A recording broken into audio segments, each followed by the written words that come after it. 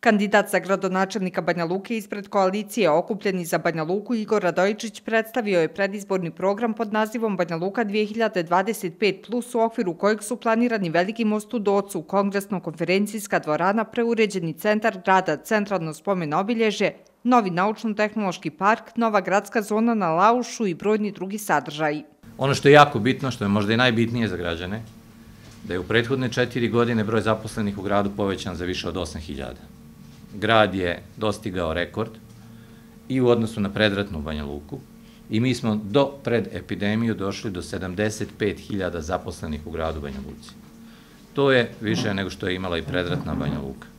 I oborili stopu nezaposlenosti na 8,8%. Dodaje da su veoma podnosni na koncept Banja Luka ljudskog lica. Dakle, programe za stare, programe za djecu, programe za lica s invalidnošću, za lica sa posebnim potrebama, društvene centre, u kojima će se okupljati ta lica, različite programe i projekte i brigu o njima na različite načine.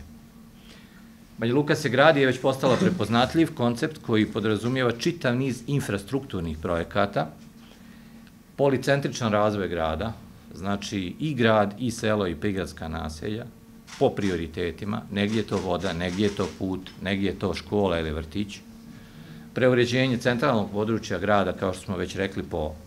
idejnom rješenju koje je dobijeno na međunarodnom konkursu, četiri nova mosta, potpune promjene na Laušku, jednom velikom gradskom naselju. Radojičić je napomenuo da će u podnedjeljak biti održana sjednica gradskog izbornog štaba na kojoj će vjerovatno biti donesena odluka da se suspenduje kampanja u smislu organizovanja javnih skupova zbog trenutne epidemiološke situacije. Razmotrit će na koji način će dalje voditi kampanju, naglasivši da SNSD ne može organizovati predizborne skupove na koje neće spontano doći stotine ljudi bez ikakvog javnog pozivanja.